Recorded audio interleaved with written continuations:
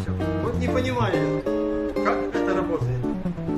Четыре шарика тряпичных привязаны обычной веревочкой. Тянем синий вверх, красный поднимается тоже вверх. Но когда я беру зеленый, почему-то поднимается красный. И наоборот. Совершенно непонятно. Я что уверен, что вот два шарика соединены одной веревочкой. Но если мы поднимем желтый, красный поднимается. А эта веревка совершенно отдельно. Непонятно. Вы думаете, что там что-то есть? Да ничего там нет. Совершенно пустые две трубочки,